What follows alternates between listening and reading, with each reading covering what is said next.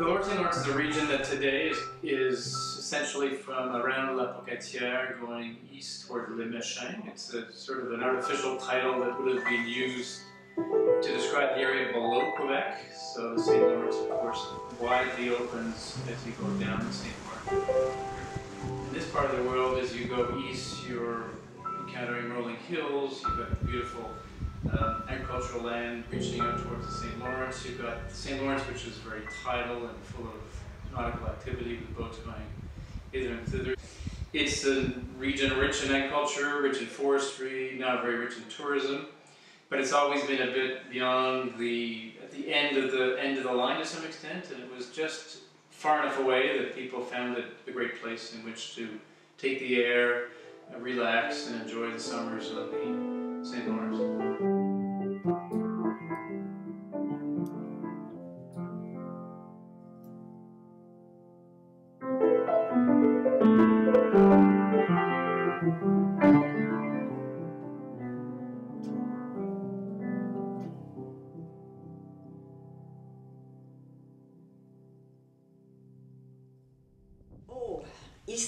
Semble que certains médecins qui conseillaient de venir sur les rives du fleuve ici, où le fleuve est quand même euh, assez, assez large, au-delà de 20 km, euh, on disait que l'air était pur. D'abord, la population était moins élevée que dans les villes.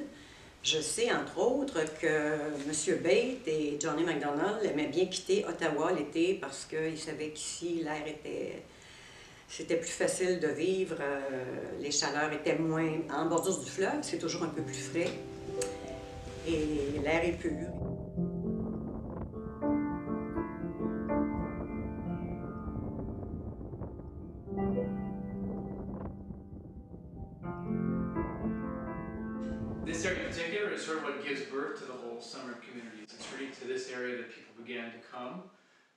Uh, St. Patrick, um, Notre-Dame-de-Portage. And that was partly because of the proximity to the nearest urban center, Quebec City, but also because it was where the train line ends. It's the Grand Trunk, which is built from Montreal east. It sort of stops in Rivière-Loup, which is a big junction point for the railway, and it was really literally the end of the line. So if you were looking to um, leave the city, if you had means and and capacity, you would send your family and kids to a an air spa, which is sort of what this was. You would take the air, you would do a little physical activity, but you would often, frankly, just be in this sort of semi-pastoral environment, and this was what attracted people to eastern Quebec on the south shore of the St. Lawrence.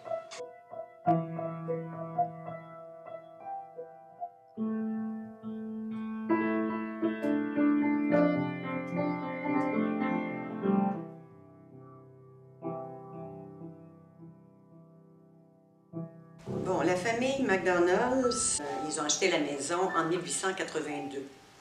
C'est-à-dire, c'est l'aider Agnès qui a acheté la maison en 1882, mais il l'habitait déjà depuis au moins un été.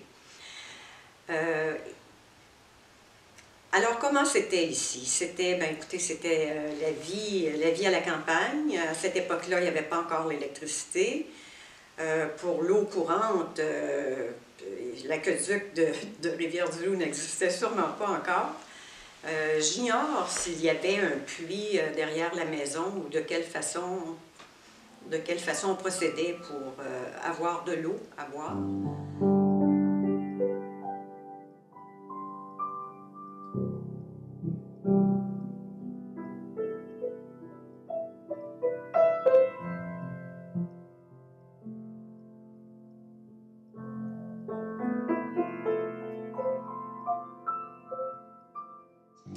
St. Patrick would have been a community like many others. Uh, the summer people would have come here. Often they would have followed their servants or their, their, their employees who would often come to house like this and taken the dust covers off and opened it up, opened the windows, removed the dust, got the humidity up, and then the owners would come and they would establish themselves with a retinue of families to be cared for by this fairly substantial mass of servants who would be doing the kitchen work and the scullery work and sometimes doing the gardening and other things.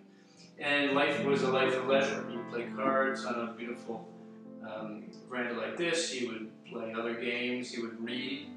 Um, you would play one other games. There's often golf and a bit of tennis.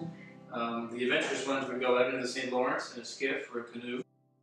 Uh, the telegraph, of course, uh, was available because it followed the train line, so you were out of contact but in contact at the same time. So you could be, if you were a politician like Sir John A. Macdonald, you would be um, you would be kept up on the news on a regular basis.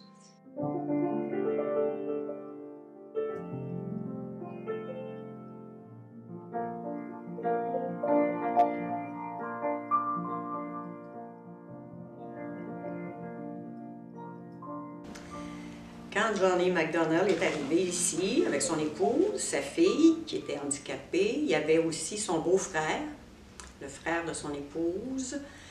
Il y avait, bien évidemment, il y avait avec eux une, une ou quelques servantes parce qu'ils avaient quand même besoin, besoin d'aide, surtout pour leur fille handicapée. Et euh, Johnny McDonald a eu des secrétaires qui, je ne saurais dire s'ils habitaient la maison même, mais à une certaine époque, Johnny McDonald avait deux secrétaires qui répondaient aux courriers. Et euh, c'était, bon, c'était quand même, c'était pas tout à fait la vie qu'il menait à Ottawa, mais c'était les vacances, mais en même temps le travail. Et c'était important qu'il soit bien, bien assisté.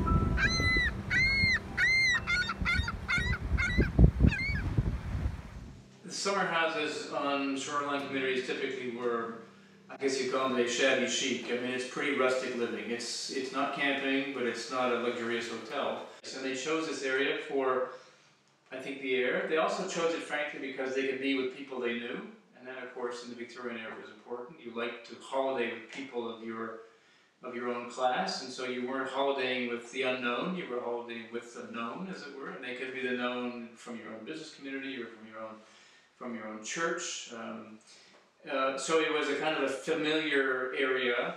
Um, I think there was also those who came to this part of the world were also attracted by the proximity to the French Canadian milieu, the life that was around them, the kind of connection to, not living with, but they were available to communicate with these communities, and I think it was part of the attraction.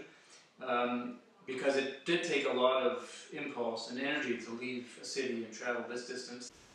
La route euh, qui existe devant, la 132, qui s'appelle maintenant la 132, était un chemin plus étroit à l'époque, un chemin où les, les chevaux euh, circulaient, sûrement pas en très grand nombre, mais bon, alors... Donc, on peut s'imaginer la vie de cette époque-là. C'est quand même... C'est loin, mais en même temps, on peut quand même s'imaginer. Anybody who studied Canadian history as I have knows that Sir John A. is an important figure. He's a bit controversial uh, these days because of his stance on a number of issues, French Canadian language rights, native schools, and so on. But he is an important founder, not a perfect one. He's not somebody we celebrate like the Americans celebrate their founders, but he was an interesting politician, frankly, more interesting than most that have followed him in that office. He had faults and foibles and weaknesses, one of which was well known, his weakness for drink. But he was a caring father. He had a very troubled family life, a son who did well but was estranged from him, a daughter who was severely handicapped. Um, so I think commemorating a person of that importance is significant. He was the creator of our confederate, our federation, of our nation as a confederation. He was also a man of um, great vision who established Canada not as a as an insular pocket in the British Empire, but a transcontinental nation. Uh, and the fact that MacDonald came here from Ottawa, I think, is also an indication that he was a man who was also finding ways in which to bridge the difficult gaps that were already then evident between English Canada and French Canada.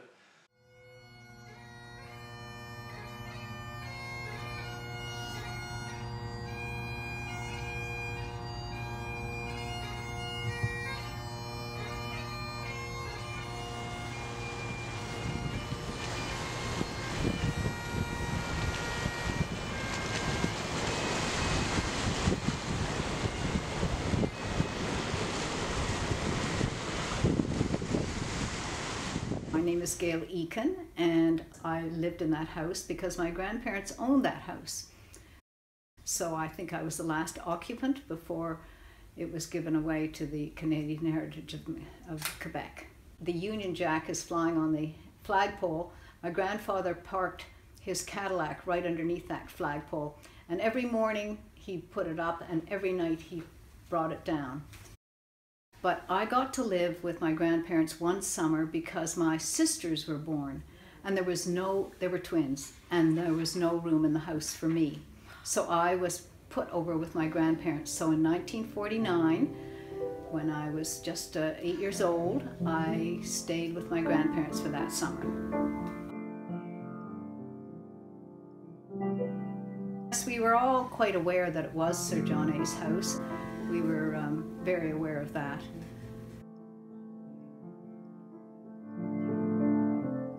Of course, the view was the best thing of all. The wonderful view of the St. Lawrence River. You could watch the belugas playing. And right down below the house was my grandmother's picking garden. She had her show garden in front, but down below she had the picking garden and she picked flowers every day and arranged them around the house. So the living room was just the most favorite place, I think. You could see the river on a rainy day. You could curl up on the sofa. It was, it was a great room.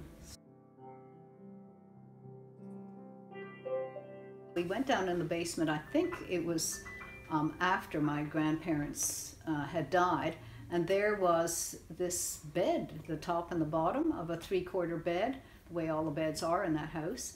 And it had Sir John A's name and address in Ottawa on the leg of it. Um, we didn't we didn't fuss about it at all. We just left it there. I guess it had been taken from there and brought down, and right. it had not been uh, used for a long time. It's only when it became a bed and breakfast that, of course, it became very important.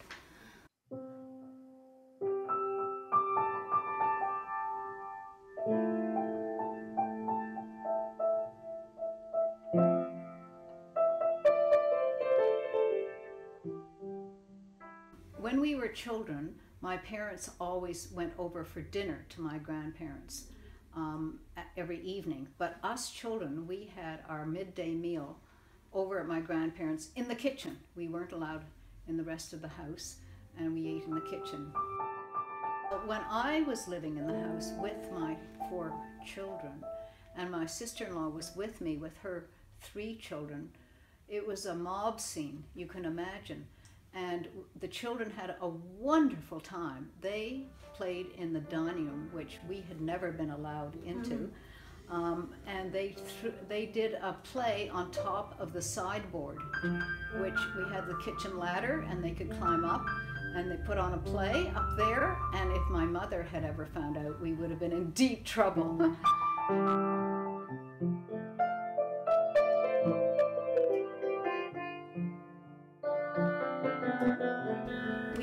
Places to swim.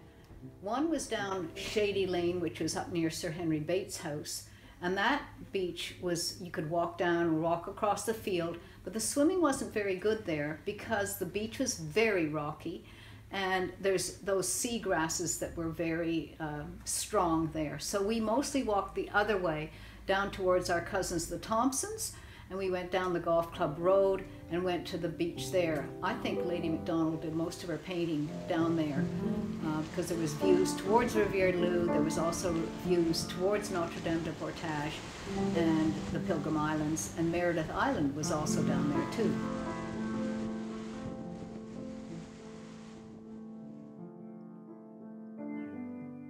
Well, Le Rocher is a substantial house uh, for a person who played a substantial part in creating the country called Canada. Ben, c'est un honneur pour moi d'être assise dans le salon de Sir John et MacDonald, bien sûr. Euh, on retourne quand même de plusieurs années euh, auparavant, quand on connaît l'histoire de cet homme qui a fait de grandes choses.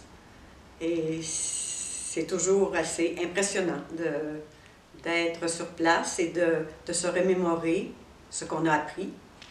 Et c'est intéressant aussi de le partager avec les autres.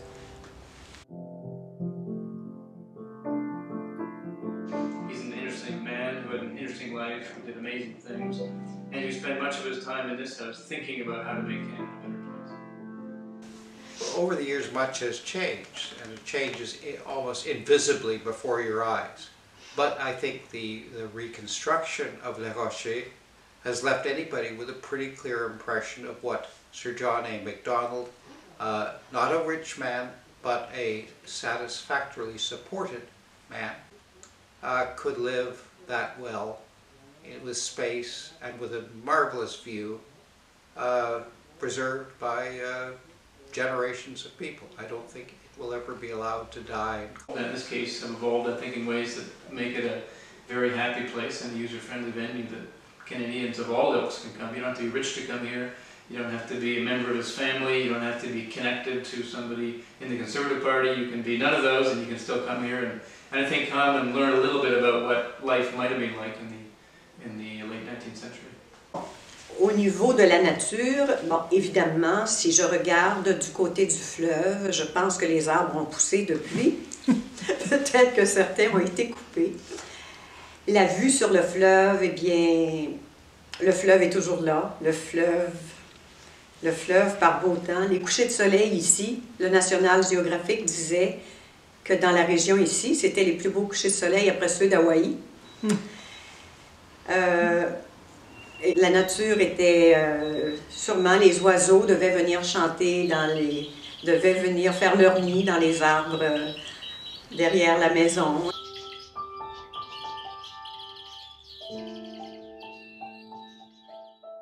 And we're grateful to the Canadian Heritage of Quebec for taking this monument to one of our great founding leaders and preserving it. So you can go there and feel the Macdonald reality uh, by some transposition. And for that, you've got to be very grateful. But it's remarkable for me to be surrounded by people for whom this region remains a, an attraction. I mean, these are families who are now living around the world, but their home, with a capital H, is the Lower St. Lawrence. You know, their homes in Montreal have been sold, and their and their furniture and paintings have been dispersed, and their you know the children and grandchildren living around the world. And yet, when they come together, it's in the Lower St. Lawrence. So it does illustrate, I think, the pull of the place. You know, these amazing landscapes that seem to change with every 15 minutes. It's sunny and foggy, and then you get a great sunset. Uh, the people, I think this interplay between the English-speaking people and the Protestants and the Catholics and the French Canadians and the local community and the suppliers and the farmers, I think that's very much part of the, I think the attractiveness of these kinds of places because they are rich in interplay, they're rich in kind of levels of interaction. Families have known the same families for 100 years. They may not be close friends, but they're sort of associates or affiliates, and I think that's why people feel comfortable here and choose to come back here. But those who come, come because they're committed. They've been converted or they're committed from birth, and they come back to this place. Like the birds come in the spring and leave in the fall. It's very much a migratory pattern that I think is very vibrant and very vibrant.